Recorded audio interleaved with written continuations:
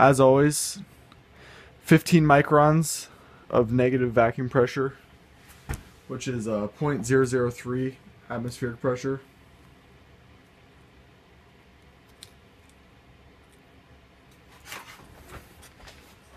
So there are a lot of things that could happen here since there's a lack of atmospheric pressure inside this vacuum.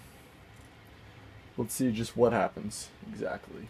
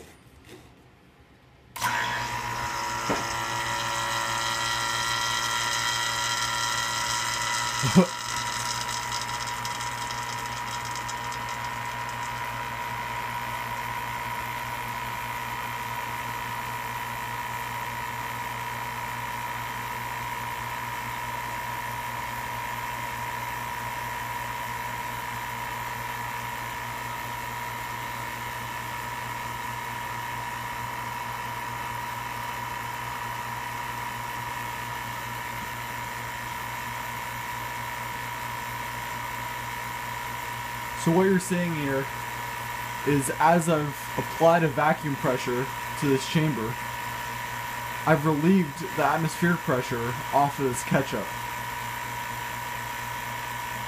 This creates this bubbling sensation because of the lack of atmospheric pressure.